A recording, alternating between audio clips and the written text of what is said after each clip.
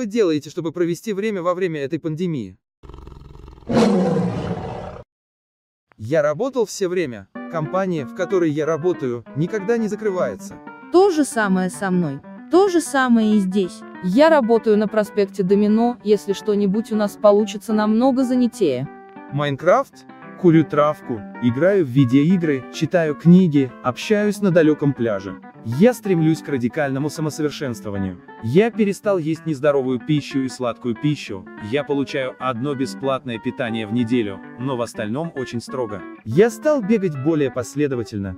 Долго гулял, купил каяк и получил велосипед. Я потерял 15 фунтов всего за два месяца. Я пытался научиться лепить в виртуальной реальности для удовольствия. Все идет лучше, чем я ожидал, но все еще неопрятно после XD. Работай. Написание романа.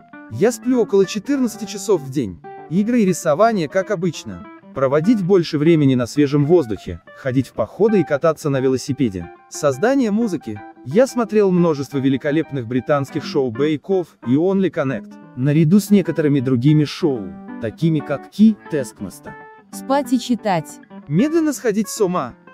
Рандомный комментарий из предыдущего выпуска. Но если ты тоже хочешь попасть в видос, обязательно оставляю любой комментарий и возможно именно ты попадешь в следующий выпуск. Удачи!